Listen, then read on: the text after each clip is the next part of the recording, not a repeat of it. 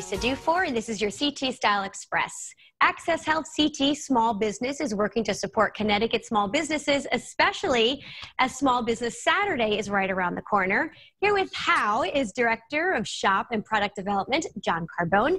Nice to meet you, John. Thanks for joining us via Zoom. Thanks for having us, Teresa. We appreciate it. So, if you would, give me the connection between Access Health CT and small businesses. Okay, we're, we're, the, we're the same company uh, with basically the Affordable Care Act on the exchange. What we do here in Connecticut is we help small businesses with 50 full-time equivalent employees all the way down to one find small affordable small group health insurance.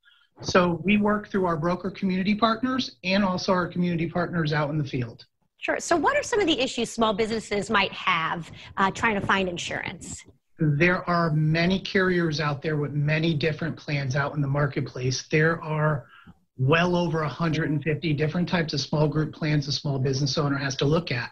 So, with us communicating and working with our brokers, we're able to find the best needs for that employer in the marketplace.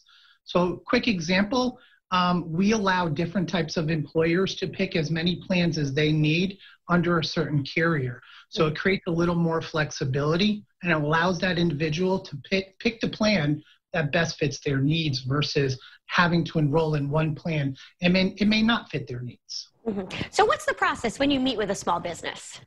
Well, we, we basically ask them a variety of different types of questions budget, what their employees' needs are, what their employer needs are, and we go through a whole evaluation of quoting uh, the business, finding out the different types of plans that are going to fit in their budget.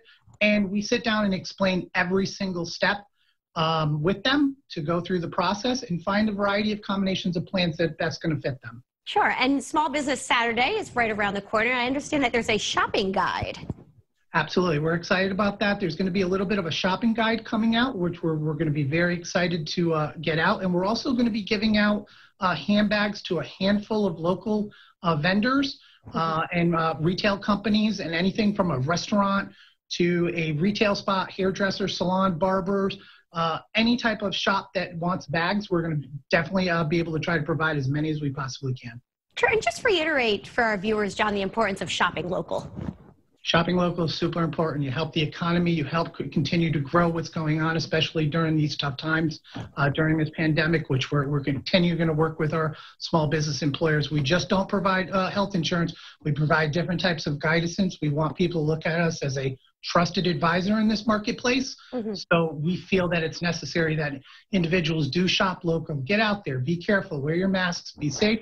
But try to shop as local as you can. Right. And if a small business needed some assistance, how could they get a hold of you? Well, they can give us a call at uh, 860 241 8445. They're welcome to visit our website at Access Health CT Small Biz, or they can email us at shop period ahct at ct.gov. There you go. All the bases are covered there. John, thank you so much for your time. Uh, looking forward to that shopping guide and supporting the local businesses around Connecticut. We appreciate Thank it. for having us. We appreciate it. Thank you for having us. Sure.